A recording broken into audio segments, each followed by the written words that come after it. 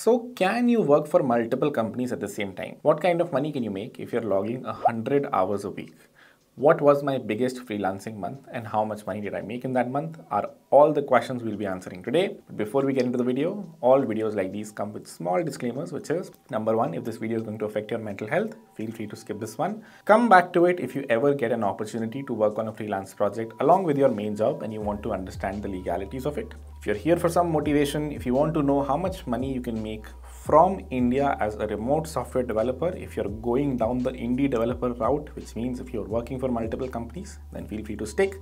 If you feel this will affect your mental health, feel free to skip. With that, let's get right into the video. So let's rewind the clock almost exactly one year ago. July 2022 was my biggest freelancing month. I was in a sort of a full-time job, the 4CR offer I've talked about, where my base salary was 200k. If you break that down on a monthly basis, that's around $17,000 that I was making in my full-time job and I would pick up freelancing projects. This month specifically was really big for me.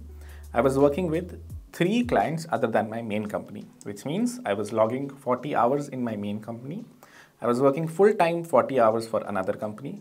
I was working part time 20 hours for a third company, and I was working five hours a week for a fourth company. If you add that up, that's 105 hours a week, and that's what I logged for the complete month of July. Let's first talk about my job role in these four companies. Then we'll talk about how much I was charging on an hourly basis to each one of them. Then we'll add up the numbers and reach the final number of what I made in July 2022.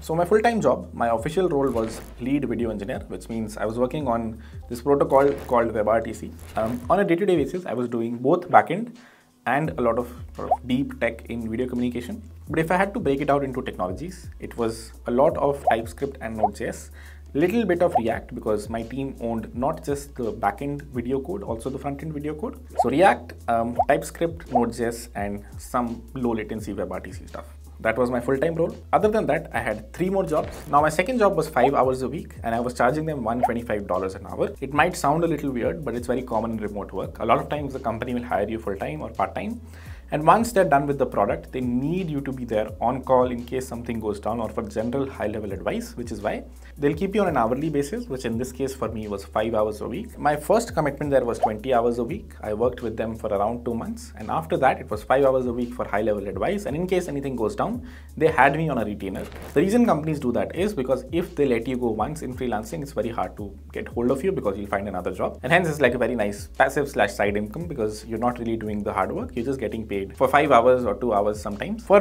very simple high level work, uh, which is like companies are okay with that. So number three, this was 20 hours a week and I was charging them $150 an hour. This was a pure WebRTC project, which means I was purely the video engineer. The company had a bunch of other full stack engineers and backend engineers. My job was to come in there. They already had a video system which was pretty janky. I came in there, built the video system from scratch again, and then I was done with my job and I left. $150 an hour back then was a decent number to charge as a video engineer. So no one really bat an eye. And I was basically given all the freedom and time to do this because not a lot of people knew WebRTC. Uh, and hence, uh, whenever they would ask me for how much this might take, whatever time I said, they usually accept it because when you're a senior engineer, specifically in a niche, um, people usually trust you and it's also usually good for you to not fake timings. If you think something will take 20 hours, you should commit 25 hours. So 20% leeway you can keep in case there are some bugs or you get stuck in some very weird niche library issue. But other than that, you shouldn't overestimate issues as a senior engineer. It doesn't really end well. Tried this a few times and then burned my hand. So very high level general advice here is if you think something takes 20 hours, at max commit 25 hours and charge 25 hours. Uh, don't overcharge because at some point you'll start to lose clients. So moving to the fourth company, this was 40 hours a week, which means another full-time commitment along with my original full-time commitment, which is where things get a little weird because it's easy to manage part-time commitments. Um, the expectation setting is that you can miss meetings because, well, you're not full-time. But in case you join full-time somewhere, the expectation is you're supposed to attend every meeting. Um, that's where things got a little clashy here. But other than that, this was a very nice project. It was fairly simple for me to go through because there wasn't a lot of deep tech here. It was a pure full stack project in Node.js, the MERN stack basically. They were like a very compliance, legal, financy company, and hence there were some very strict practices as to how you were supposed to build things, and that's one of the reasons they were paying this much for a full stack role. But it was fun because I had worked in finance before, and frankly, this startup in Europe doing finance was like 100 times better than what I did back in Goldman. So in these two months, I got to learn more finance than I did back in my Goldman job. And so if you add all of this up, uh, for the month of July, I made around $3,000 from one job, um, around $15,000 from my second full-time job, and around half of that for the third job. Then my fourth real full-time job paid me around 15,000. If you add all of that up, it's close to I think $40,000 or something like that. If you multiply that by 83, that's around 32 to 35 lakhs, somewhere in that range. This is pre-tax, which means you should slash 30% upfront, uh, and that's what would actually hit the bank account, which would be around 20 to 25 lakhs, somewhere in that range, which isn't bad.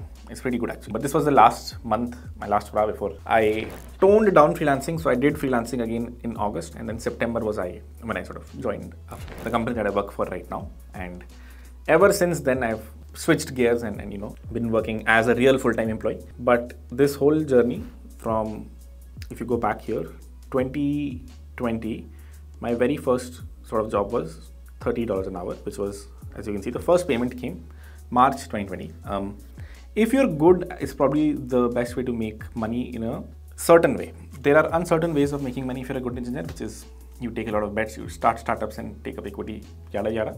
But freelancing is the better way if you don't want to take any risks. If you're a good engineer, irrespective of where you are, which could be India or abroad, um, you can charge people very well for your time. And since you're working there as a senior engineer or basically someone who has a lot of context and knowledge, um, no one backs an eye if you're working for two slash three companies as long as you've got the legal corners covered so make sure you do that. Um, if you're signing something, you should know what you're signing, and you should never copy code from one company's code base to another code base. Make sure you generally keep the expectations set well that hey, I'm a decent engineer in this specific niche. I would like to work for other companies because of a thousand reasons. I can charge you much lesser because I have other clients. So let's make this a win-win situation. And if you ever feel okay, I'm not working my 40 hours or 20 hours, let me know. But generally, I've, been that open with clients and never have I sort of gotten a bad rating or gotten fired. Every every time I've gotten like a decent slash very good rating. And that's because if you're good at something, um, never do it for free. And also, if you're good at something, um, your time that, that, you're investing there doesn't really matter. Uh, what matters is how well you're able to um, understand the code base of that company and integrate your knowledge there. So this was the high level of my biggest freelancing month.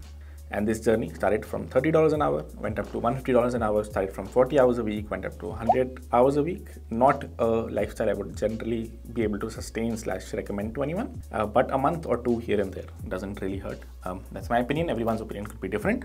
But if you want to, just understand the legalities correctly and then feel free to Hopefully the purpose of the video was served, which was how much money you can make remotely as a software developer from India if you're a good engineer.